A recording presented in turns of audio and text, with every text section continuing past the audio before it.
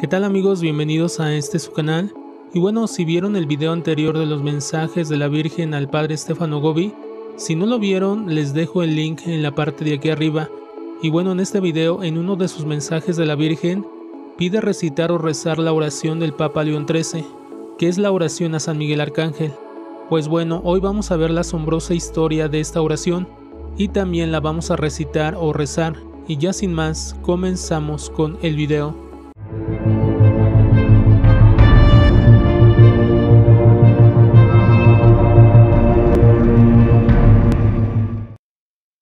Y bueno amigos, empezamos el 13 de octubre de 1884.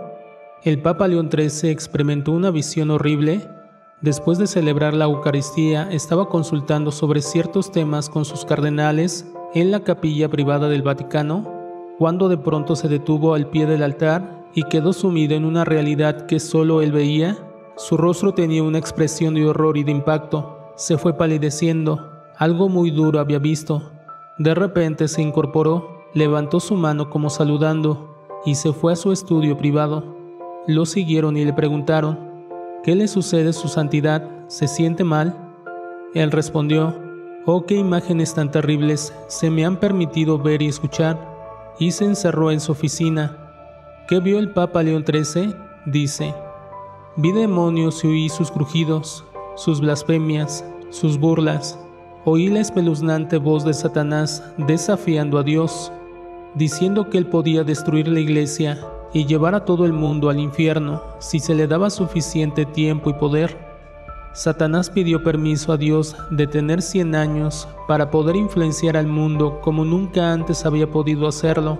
También León XIII pudo comprender que si el demonio no lograba cumplir su propósito en el tiempo permitido, sufriría una derrota humillante vio a San Miguel Arcángel aparecer y lanzar a Satanás con sus legiones en el abismo del infierno.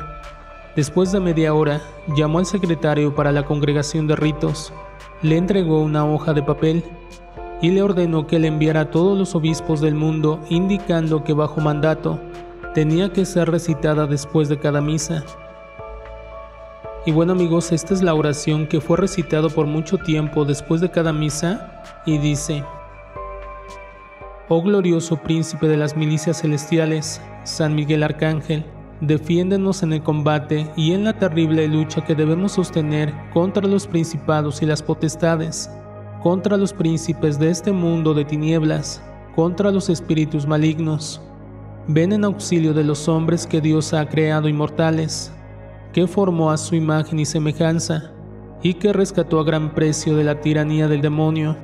Combate en este día con el ejército de los santos ángeles los combates del Señor, como en otro tiempo combatiste contra Lucifer, el jefe de los orgullosos, y contra los ángeles apóstatas, que fueron impotentes de resistirte, y para quien no hubo jamás lugar en el cielo, si ese monstruo, esa antigua serpiente que se llama demonio y Satanás, el que seduce al mundo entero, fue precipitado con sus ángeles al fondo del abismo pero he aquí que este antiguo enemigo, este primer homicida, ha levantado ferozmente la cabeza, disfrazado como ángel de luz, y seguido de toda la turba, y seguido de espíritus malignos, recorre el mundo entero para apoderarse de él y desterrar el nombre de Dios y de su Cristo, para huir, matar y entregar a la perdición entera a las almas destinadas a la eterna corona de gloria sobre hombres de espíritu perverso y de corazón corrupto.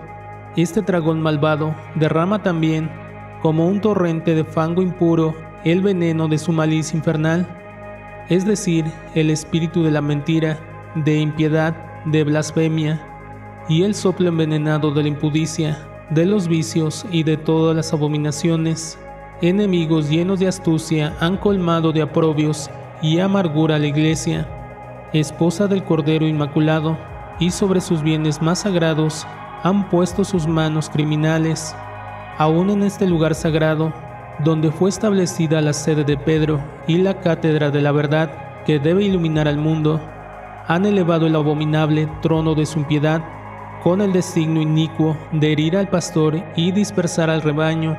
Te suplicamos pues, oh príncipe invencible, contra los ataques de esos espíritus réprobos, auxilia al pueblo de Dios y dale la victoria. Este pueblo te venera como su protector y su patrono, y la iglesia se gloria de tenerte como defensor contra los malignos poderes del infierno. A ti te confió Dios el cuidado de conducir a las almas a la beatitud celeste. Ruega pues al Dios de la paz que ponga bajo nuestros pies a Satanás vencido y de tal manera abatido que no pueda nunca más mantener a los hombres en la esclavitud ni causar perjuicio a la iglesia. Presenta nuestras oraciones ante la mirada del Todopoderoso, para que las misericordias del Señor nos alcancen cuanto antes.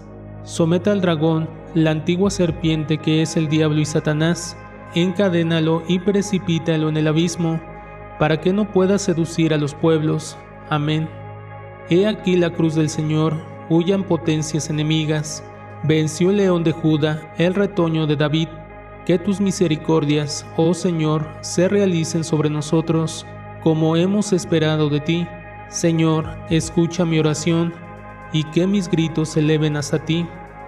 Oh Dios Padre nuestro, Señor Jesucristo, invocamos tu santo nombre e imploramos insistentemente tu clemencia, para que por la intercesión de María Inmaculada Siempre Virgen, nuestra Madre, y del glorioso San Miguel Arcángel, te dignes auxiliarnos contra Satanás y todos los otros espíritus inmundos que recorren la tierra para dañar al género humano y perder las almas. Amén. Y bueno amigos, este fue nuestro video de hoy sobre la historia de la oración a San Miguel Arcángel del Papa León XIII. Y antes de irnos, si no te has suscrito a este canal, te invito a que te suscribas y apoyes este canal regalándome tu like y nos vemos hasta la próxima. Bye amigos.